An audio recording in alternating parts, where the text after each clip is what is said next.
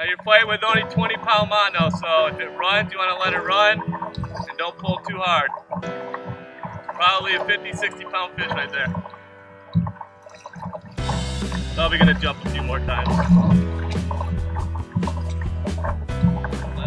All right, I got her. She's right under me. She's a big girl. Oh yeah, looks like there's a down there. See her down there?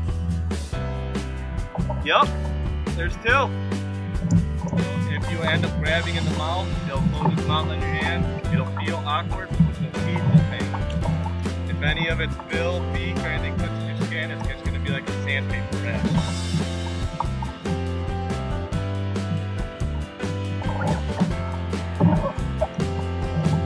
You want to pedal forward and reel them up. Get them back. Oh my god, that is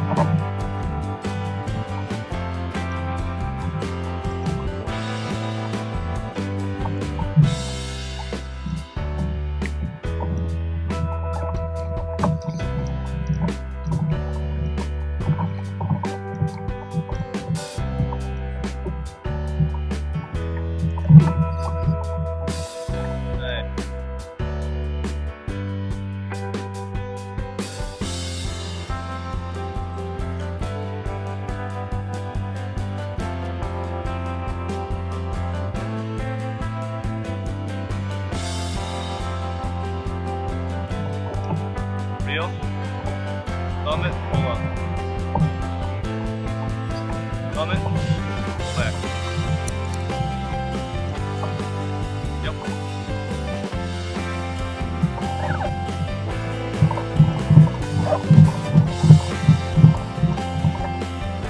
Put your hand in the water. Pull up. Right there. Grab the bill.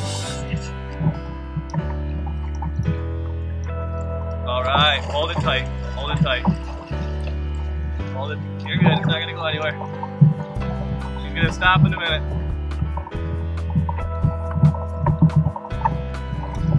She'll stop, she'll stop. All right, with your left hand, grab that rod and reel.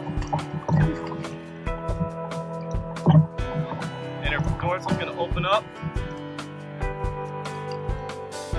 Hold her upright.